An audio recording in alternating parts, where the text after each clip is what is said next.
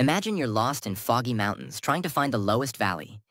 You can't see far, so you feel the ground around you and take a step in the steepest downward direction.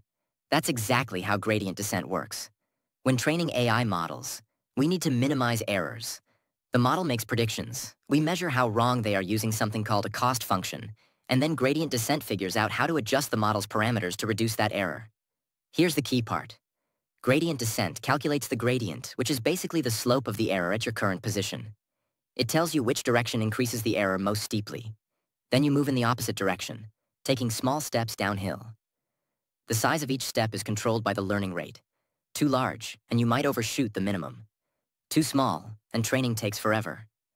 This process repeats thousands of times, each iteration making the model slightly more accurate until it finds the sweet spot where errors are minimized. It's the foundation of how neural networks, from simple models to ChatGPT, actually learn. Pretty elegant solution to an incredibly complex problem.